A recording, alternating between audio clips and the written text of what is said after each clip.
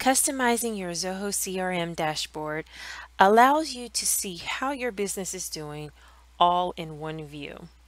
I am going to teach you how to create components to add to your dashboard.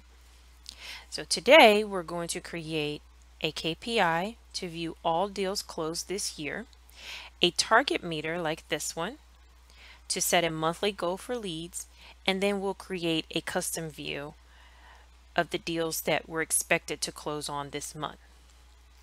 Now, one of the key things to remember is on the dashboard, you can add up to 10 components.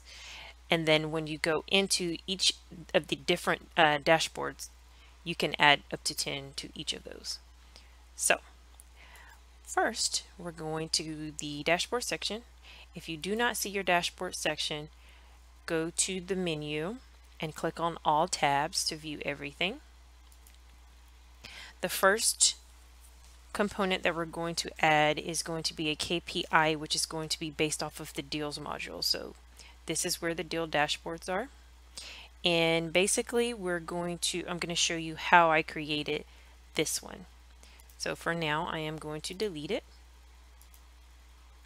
And then we're going to recreate it.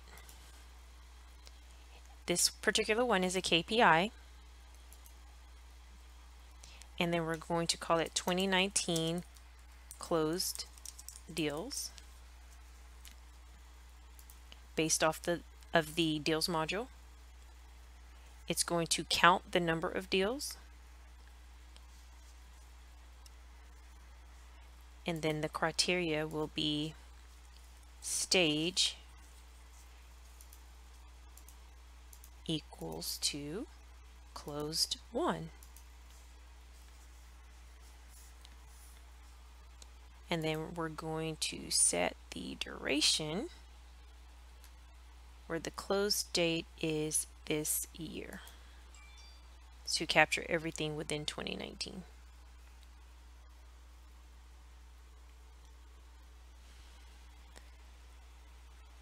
And then you can also set it to compare to the previous period, which will be last year. Now we save and here is the component we just created. Now we will add it to the home screen. So go to the home screen, add component from the dashboard, 2019 closed deals, and we're going to rename it the same thing for this dashboard as it is on the other dashboard. So 2019 closed deals, save, and here's the component. You can also rearrange your components by clicking on reorder and then moving them around. Okay, so next we're going to create a KPI for the monthly target for leads. So again, go to the dashboard section and we'll go to lead dashboards our component will look just like this. I'm going to delete this one and we'll recreate it. Add component. This one will be a target meter. We're going to name it leads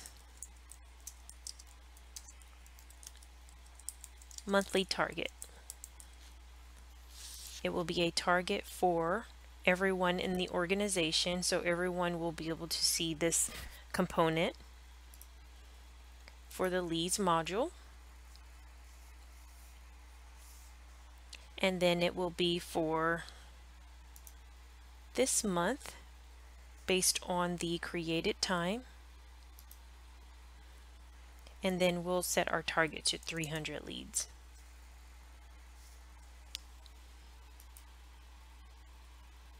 Save. And here is our component. Again, to add it to the dashboard, let's find the component. Oh, I think I just passed. Yes, leads. Leads monthly target.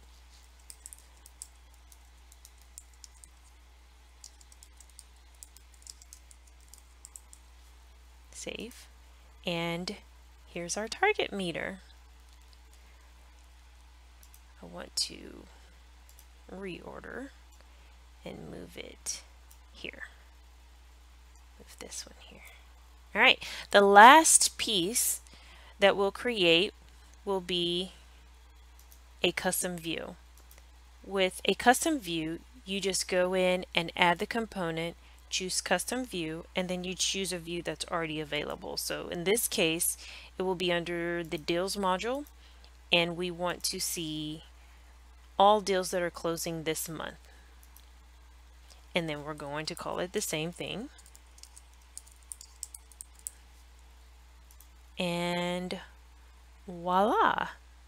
Now, in this case, the component is not, it needs to be readjusted. So I am going to reorder and then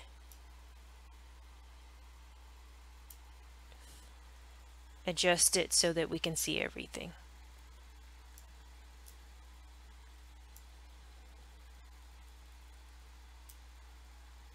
Okay, and then hit save. And there you are.